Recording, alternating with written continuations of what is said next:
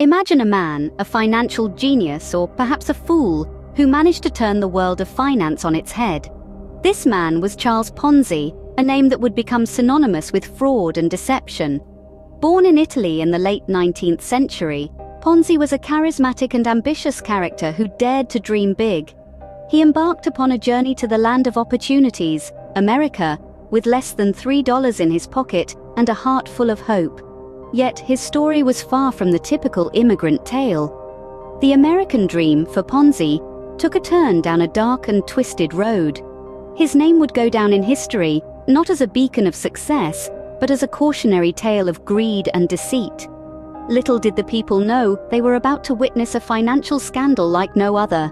In the heart of Boston, in 1919, a scheme was born that would forever bear the name of Charles Ponzi. A wily Italian immigrant, Ponzi stumbled upon an opportunity that seemed too good to pass up. He discovered a loophole in the system of international reply coupons which were essentially prepaid postage stamps. The idea was simple buy these coupons in a country where they were cheap, then sell them in another where they were expensive. But Ponzi saw beyond the postage stamps. He saw a chance for arbitrage, a golden opportunity to exploit the differences in currency values and the cost of these reply coupons. With a glint in his eye, Ponzi set out to capitalize on this disparity. He promised investors a whopping 50% return on their investment in just 45 days, or, if they were patient, a 100% return in 90 days. The premise was simple. He would use the investors' money to buy international reply coupons at a low price abroad, then sell them at a high price in the States. Like a wildfire, Ponzi's scheme spread, ensnaring thousands in its deceptive trap. The year was 1920, and Charles Ponzi, the man behind the curtain, was living the life of luxury. His operation, the Securities Exchange Company, had grown exponentially. It was a financial whirlwind, sweeping up the hard earned money of unsuspecting investors and spinning out promises of extraordinary returns. Ponzi's lifestyle became a testament to his supposed success. He traded his modest life for a mansion in Lexington, Massachusetts, complete with a heated swimming pool and a pair of luxury automobiles. He wore the finest suits, dined at the best restaurants, and rubbed shoulders with Boston's elite.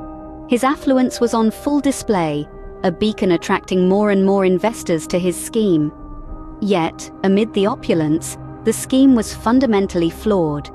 Ponzi was paying old investors with the money from new ones, a financial house of cards that was destined to collapse. But such was the allure of the Golden Promise, a 50% return in just 45 days, that the investors turned a blind eye to the potential risks. They trusted Ponzi implicitly, entranced by his charisma and the dazzling wealth he flaunted. Ponzi was on top of the world, basking in the glow of his illusory success. He reveled in the adoration of his investors, the respect of his peers, and the lavish lifestyle he had always dreamed of.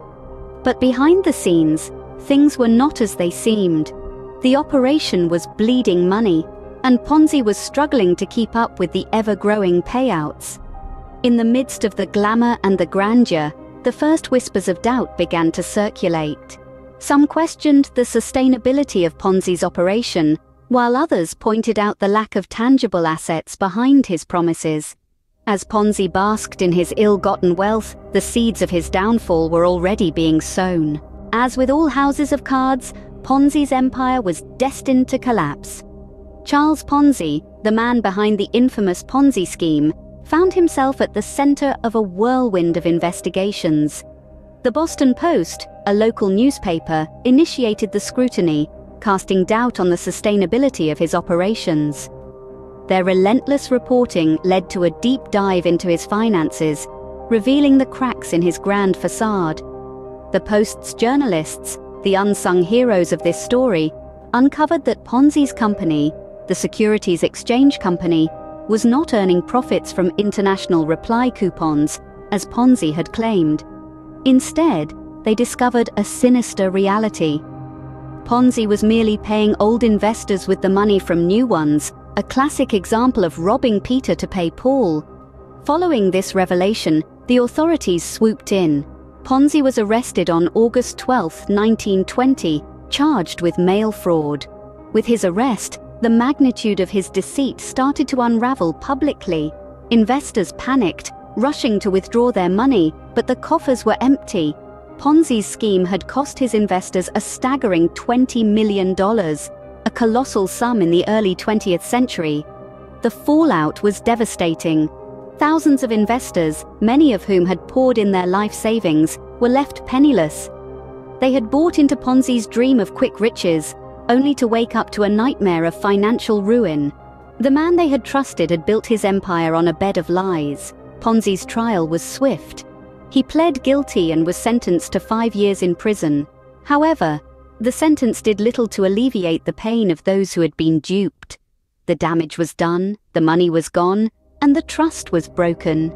In the end, Ponzi's castle of lies crumbled, leaving nothing but financial ruin and a legacy of deceit. Even though Ponzi's reign ended in disgrace, his name lives on, immortalized in the scheme that fooled the world and left a trail of financial devastation in its wake. The name Charles Ponzi is now synonymous with financial fraud, a dark reminder of the perils of greed and deception. His scheme, a twisted dance of deceit and delusion not only left countless victims in its wake, but also reshaped the landscape of financial regulations. The fallout from the Ponzi scheme was a catalyst for change. It led to the enactment of stricter laws and regulations to protect investors and prevent similar fraudulent activities. These reforms have played a crucial role in shaping the financial industry as we know it today, fostering a climate of transparency, accountability, and trust. The legacy of Charles Ponzi goes beyond his notorious scheme. It serves as a stark reminder that unchecked ambition, coupled with a lack of ethics, can lead to catastrophic consequences. His story underscores the importance of financial literacy, vigilance, and skepticism in navigating the complex world of finance. Charles Ponzi, the man who promised fortunes and delivered ruin, remains a cautionary tale in the world of finance. The story of Charles Ponzi serves as a stark reminder that if something seems too good to be true, it probably is. This enigmatic figure birthed a scheme that promised astronomical returns, a scheme that skyrocketed him to the pinnacle of wealth and fame. But as we've seen, this was not a tale of rags to riches, but rather rags to riches to rags. His fall was as rapid as his rise, and in the end, all that was left was a legacy of deception and financial ruin. From this tale, we can glean several lessons. Firstly, always scrutinize investment opportunities, no matter how enticing they may seem. Secondly, remember that sustainable success is rarely achieved overnight. And lastly, let the story of Charles Ponzi be a reminder to always prioritize ethics and honesty in all your financial dealings. To uncover more intriguing tales from the world of business and finance, subscribe to BizBytes and give this video a like.